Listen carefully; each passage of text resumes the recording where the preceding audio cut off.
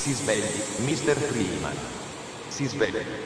Non che voglia insinuare che lei abbia dormito sul lavoro. Nessuno merita riposo più di lei.